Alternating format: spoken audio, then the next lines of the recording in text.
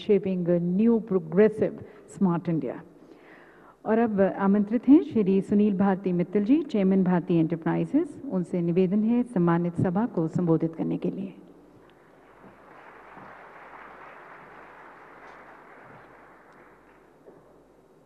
आदरणीय प्रधानमंत्री, लोकप्रिय मोदी जी, श्री अश्विनी वैष्णव चौहान जी सेक्रेटरी टेलीकॉम मेरे इंडस्ट्री के साथी मुकेश अंबानी जी, कुमार बिरला, मेरे पुराने हमसफ़र राजीव चंद्रशेखर, जो यहाँ आज मौजूद हैं डिस्टिंग्विश गेस्ट और बहुत सारे लोग यहाँ पे जो पिछले कई दशकों से मेरे साथ टेलीकॉम में चले हैं, उन सबका आज स्वागत है।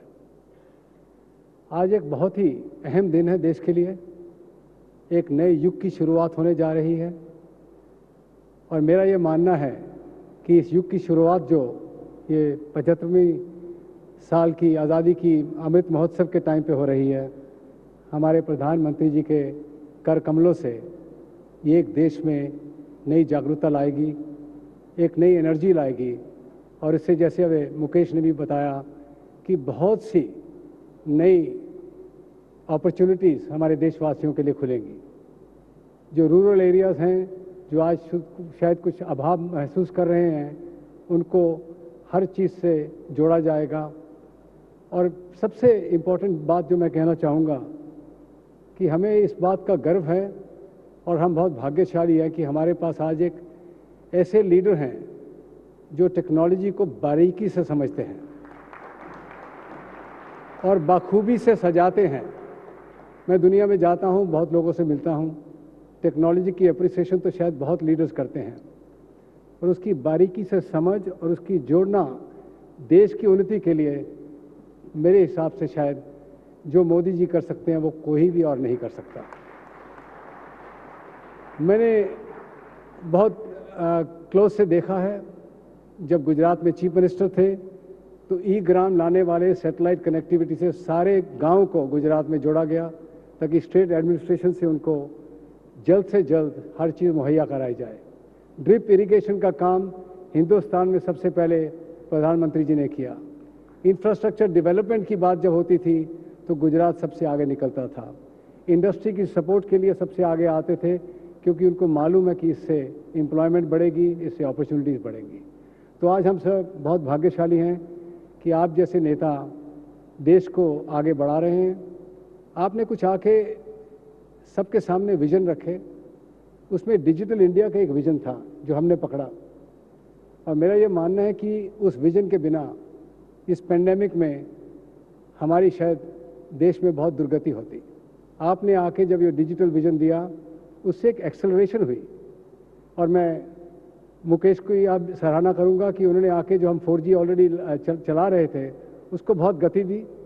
और हम सबको भागना पड़ा बहुत तेज से, पकड़ना पड़ा। और जब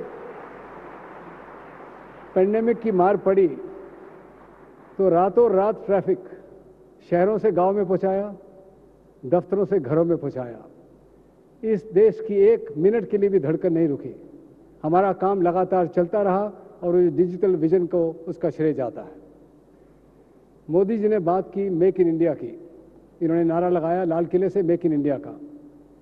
मैं आज ये कन्फेस करता हूँ कि मेरा ये मानना था कि मेरी ज़िंदगी में इस देश में मैन्युफैक्चरिंग नहीं बन पाएगी ख़ास तौर पे इलेक्ट्रॉनिक्स में। 500-600 बिलियन डॉलर की हम इंपोर्ट करते हैं, मेरे को उम्मीद नहीं थी। उससे थोड़ी उम्मीद आई, पर आज तो ये रियलिटी बन गई है कि ये देश मैन्युफैक्चरिंग का देश बनने जा रहा है। डिजिटल के साथ उन्होंने स्टार्टअप इंडिया का नारा लगाया। हर महीने यूनिकॉर्न पैदा होने शुरू हो गए हैं। और मेरा ये मानना है कि 5G के तहत आने वाले सालों में सैकड़ों यूज़ केस हज़ारों और अंतरप्रन्योर और दर्जनों और यूनिकॉर्न इस देश में पैदा होंगे। वो भी उसका श्रेय स्टार्टअप इंडिया को जाता है। मोदी जी 40 साल पहले इसी अक्टूबर में 1982 में, ताइवान में मैंने एक पुश बटन टेलीफोन देखा। और उसको हिंदुस्तान में लेके आया, यहाँ पे उसकी मैन्युफैक्चरिंग शुरू की। आज 40 साल के बाद मुझे बहुत गर्व महसूस होता है कि आज वही भारतीय एयरटेल जो कि बहुत छोटी उम्र में अपना टेलीकॉम में कदम रखा था 40 साल पहले, आज 5G में आगे, सबसे आगे चल के इस देश की सेवा में जुटी हुई है। मैं आपको यकीन दिलाना चाहता हूँ कि भारती के सब लोग और एयरटेल के सब लोग पूरे ज़ोर से पूरी अपना हिम्मत से 5G को देश में फैलाएँगे और 2023 मार्च तक काफ़ी शहरों में और 2024 मार्च तक सारे देश में 5G का फैलाव करेंगे। और आज जहाँ जब आप लॉन्च करेंगे इस 5G को तो आठ शहरों में आज 5G एयरटेल की तरफ़ से उपलब्ध होगा।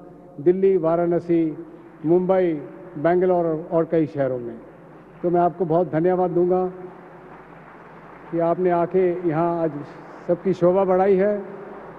ख़ास तौर पे मैं कॉन्ग्रेचुलेट करूँगा डीओटी को और सीओआई को, जिन्होंने आज इस आईएमसी को एक मोबाइल वर्ल्ड कांग्रेस के लेवल पे आज लेके गए हैं। आज अगर आप बाहर जाएँगे तो देखेंगे कि दुनिया में कहीं भी आप एग्जीबिशन देखेंगे, उससे आज यहाँ कम नहीं है।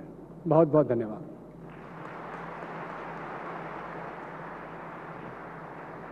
बहुत बहुत धन्यवाद, सर। देश और देश के विकास की तरफ़ समर्पित आपकी भावनाओं, आपकी कोशिशों और विशेष